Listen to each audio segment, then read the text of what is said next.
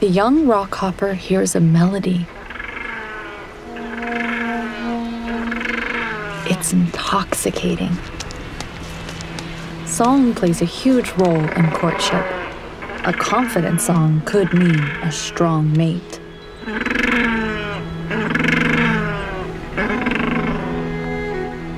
And this guy is louder than your average rockhopper.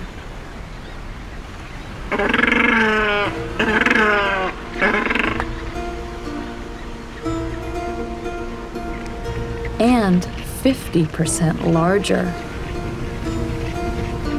And there's something weird going on with his eyebrows. Oh, because he's a different species. He's a macaroni penguin. And he's definitely caught her eye.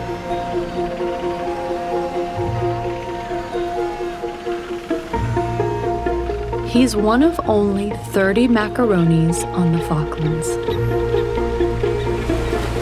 But why he's here is a mystery.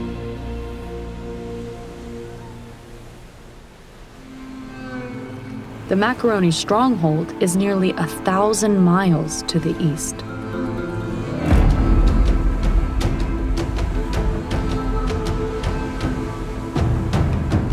Beyond singing, macaroni penguins do one thing really well make more macaronis. There are more than 12 million. More than any other penguin on the planet.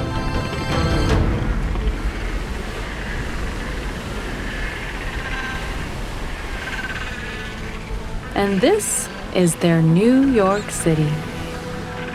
Over 2 million macaronis.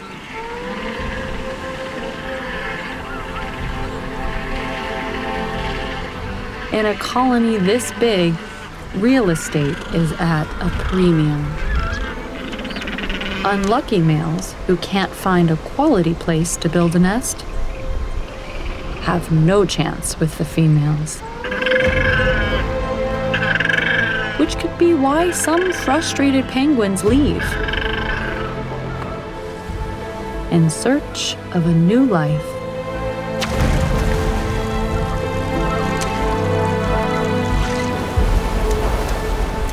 And it's possible that's why this macaroni's ancestors made the journey to the Falklands.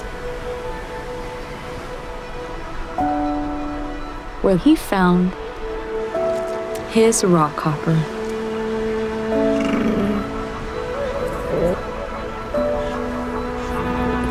But mating with an outsider is a huge risk.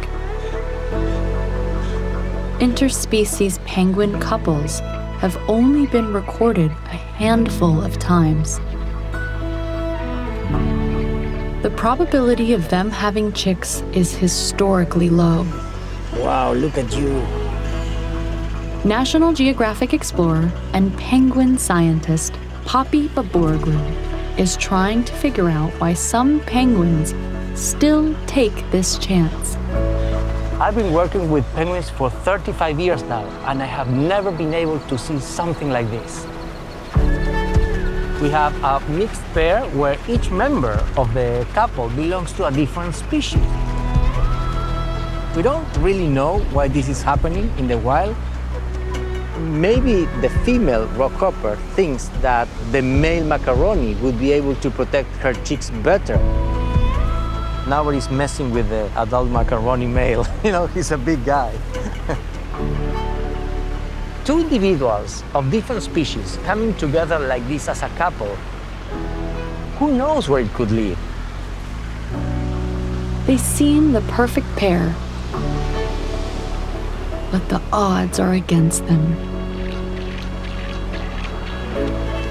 Even if they succeed in having chicks, there's no guarantee they'll survive or be able to have chicks of their own.